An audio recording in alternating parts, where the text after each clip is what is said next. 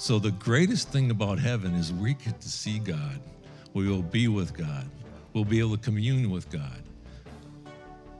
John tells us through the letters that Jesus wrote, there'll be a time when God's going to invite you to a dinner. And Jesus is going to talk about you to God the Father. And angels will be in the room.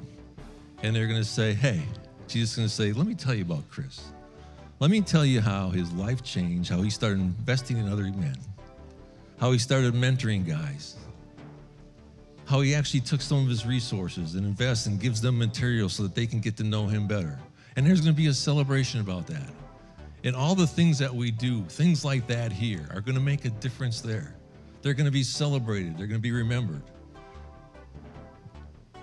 And whatever it is that we're going to be doing, you're going to be in your sweet spot. It is going to be such tremendous. And, and the purpose of all this is to bring glory to God, to exalt Him, to bring back everything to the way that God had it planned. God's win, God has the plan, and He invites us to be part of it. So, wow, right? This is really real stuff, and it's free. it's absolutely free. It's just an acceptance. So, how should we then live? Knowing this, how should we then live? I suggest you, you start with this. If you haven't yet done this, start with this. Spend time with God now. Spend quality time with God now. Get quiet. This is just you and Him.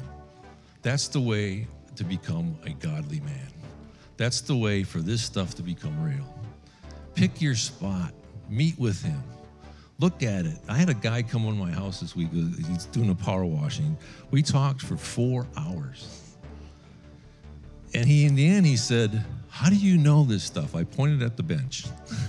and I said, Right there. That's where I read. That's where I talk. That's where I commune. That's where it becomes real pick a spot like that, guys. I mean, it'll change your life. We can't, we move so quick. There's so much to do. We have to slow down and let it become real and then reflect this stuff to other people. We're called to be light, we're called to be salt. This is a dark place, but it's going to change. All that's going to be burned away, and we get to be part of that. Bring some people along with you and watch the celebration that happens when that takes place.